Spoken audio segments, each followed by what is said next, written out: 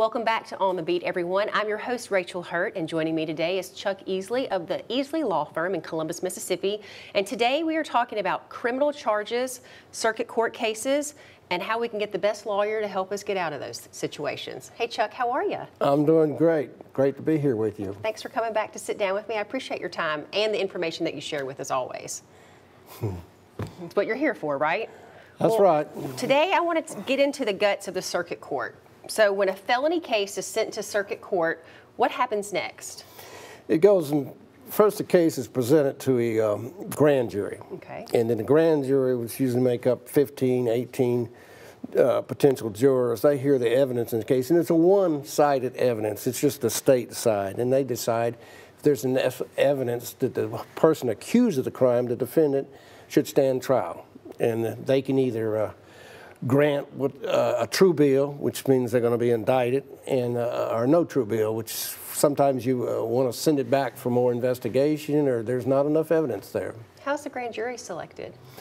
Uh, basically, just like another jury, um, they're selected uh, by the circuit uh, clerk um, at random. They mm -hmm. come up there, and then the circuit judge picks out anywhere between 15, 18 or more of the jurors to go in there and hear the, the uh, proceedings in front of the grand jury. Interesting. The grand jury is only presented by a district attorney or an assistant district attorney. Okay, okay, I didn't know that. What kind of motions can be filed by the defendant in the circuit court? Well, I like to file uh, motions.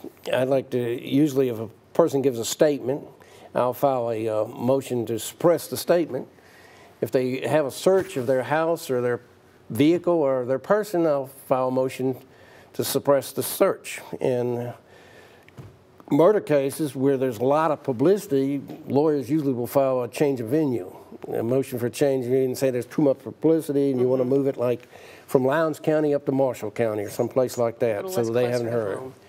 The reason I like to file motions is they rarely get granted but again, you hear evidence. Sure. You get to hear what the state's going to say, what the sheriff's department's going to say. And that jury gets to hear it too, right? Not in that, not not in, in those motions. The circuit, the motions in circuit court, there there's no jury present. Oh, okay. But it helps me um, formulate a defense. Understood. Understood. What's the difference between that and a plea bargain?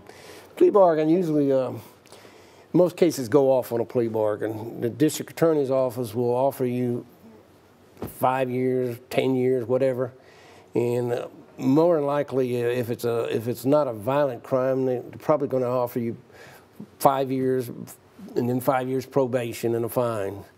Okay. Um, most people take a plea bargain, but uh, sometimes the plea bargains are so hard hard uh, that you have to go to trial, and even even though there's at times people don't realize about 10% of the people that go through circuit court are not guilty.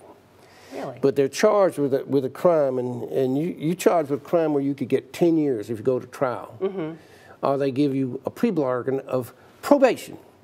I think I'd take the, the latter. You're gonna you're gonna take the probation rather than risk 10 years. Absolutely, and, absolutely. And there's a, a case called North Carolina versus Alford. It's a U.S. Supreme Court that says you can plead guilty even though you're not guilty. If you think you're going to be convicted at trial, you want to take the lesser of the two evils. Really? I've never heard that before. And does the defendant always get a jury trial? If you want one, yes. You want one, right? People hire me for jury trials.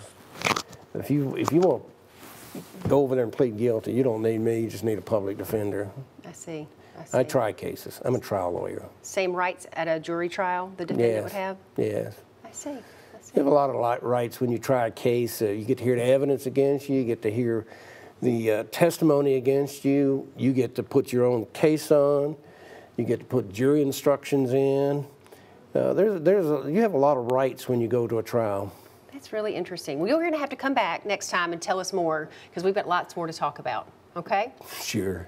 That's all we have time for today. If you have more questions or want more information, please get in touch with Mr. Easley at the Easley Law Firm in Columbus, Mississippi. We'll be back after this short break.